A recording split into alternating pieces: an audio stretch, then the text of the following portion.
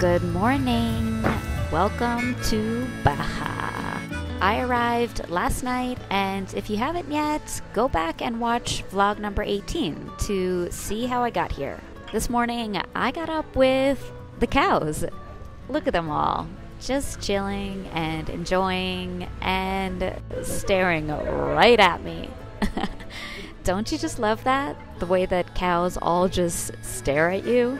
I don't know why, but this makes me so happy inside. I just love them so much. As a reminder from last vlog, I came in on this road and ended up staying here at a glamping spot and in an Airstream. Not my normal digs, but I received a great offer, so I went for it. This is Eugene, the resident pup and a total lover.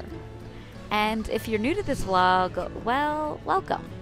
You'll learn there's a whole lot of dog loving here. And this one is Eugene's brother, the old yeller of the pack. He likes a good butt rub.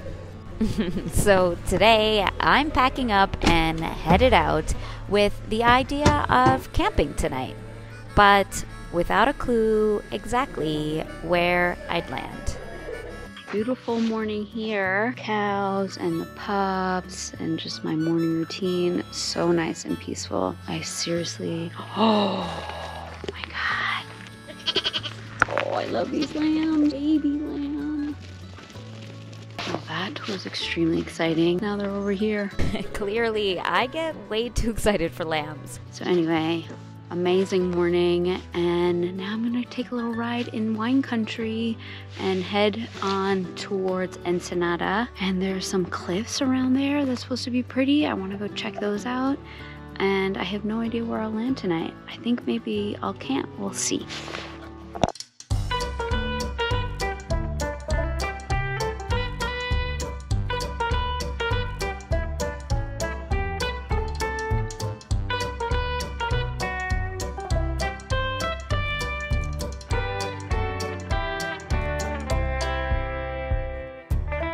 So I rode through the beautiful Valle de Guadalupe, full of vineyards and trendy accommodation, until eventually I saw the ocean. Look at this guy. Isn't he so amazing? God, I love street performers. All right, made it to Ensenada, and it's time for lunch slash breakfast slash brunch. I think it's just like a nice grocery store. I'm gonna have some fruit. Breakfast is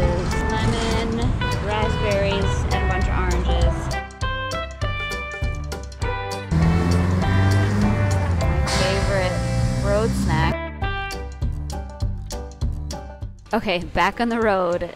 This next leg of the journey takes me out of the city of Ensenada and out onto a rugged little peninsula that's supposed to be full of spectacular views. Specifically, I'm headed to a spot called La Bufadora, which is a natural site where the ocean waters smash against a cliff and create a massive geyser where the water can shoot up to 100 feet high. Sounds amazing, right? When you get on the peninsula, it's like being on top of the world. Ocean views in all directions.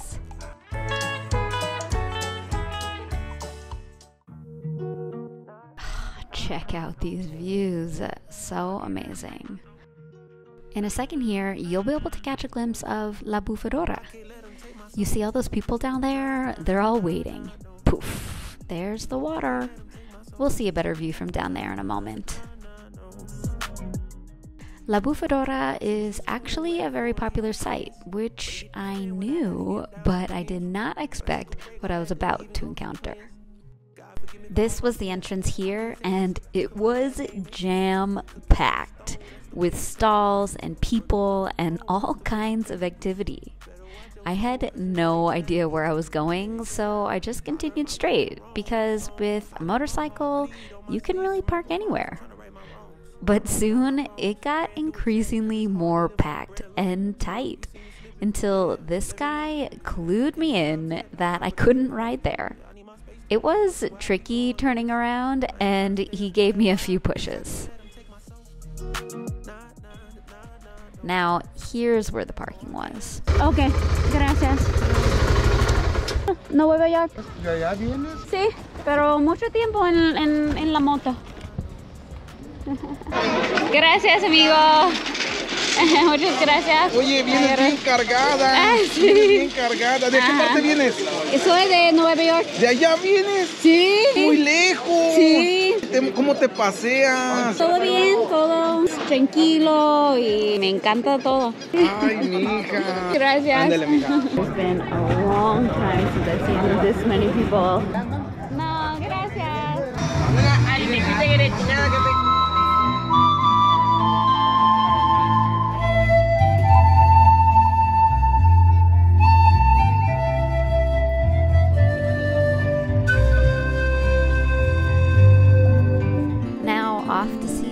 see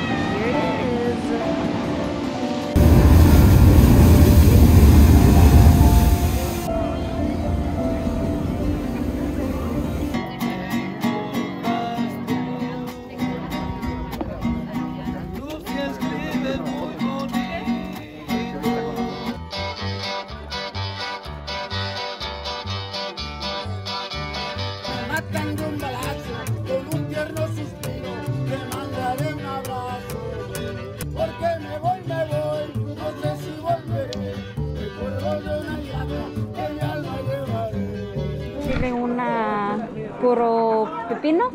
Finally, I had something to eat. A big cup of pepino, aka cucumber, and chili and lime. So delicious. And then I was off to find a campsite for the night. The pavement was super angled, and the bike was so heavy I was struggling to get it upright. And this super kind man came over and helped me. I can't tell you how much I appreciate people like him. So I planned to ride out of here and back up the hill to check out some campsites that were up there, but then I spotted something over to my right. It was a beautiful flat area that looked like a great camping spot, so I went down to check it out.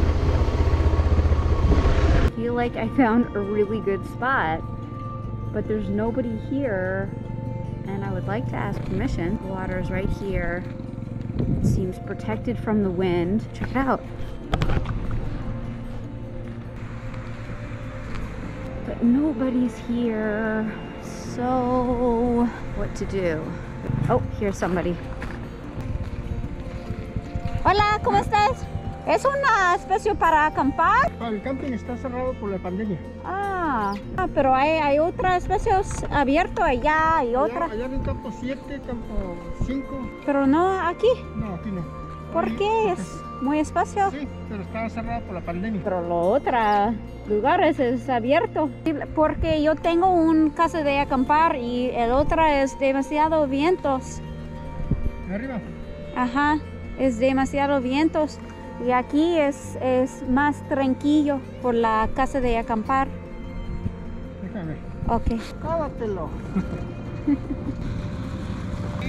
Es una propiedad privada aquí. We have a, a video camera. Yeah. Ah, okay. So, eh, I stopped. I looked for people. I looked all around, and then I thought maybe I find somebody down there. uh, okay, uh, okay, no Yeah. problem. And you have to pay. Okay, I'll go now. Gracias. Well, that was awesome. They just turned into the biggest sweethearts and they let me camp. I paid 200 pesos to camp, is on the higher end of camping. Usually it's about 100 pesos with facilities. This has no facilities, but look at this view. I maybe have an hour left of sunlight and well get my tent set up paint set up buenas noches well that's it for today. Thank you so much for watching. And as always please like comment and subscribe to help the channel out. Thanks so much. All my love. See you in the next one